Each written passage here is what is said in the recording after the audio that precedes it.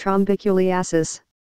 Infestation with mites of the genus Trombicula, whose larvae carry the rickettsial agent of scrub typhus.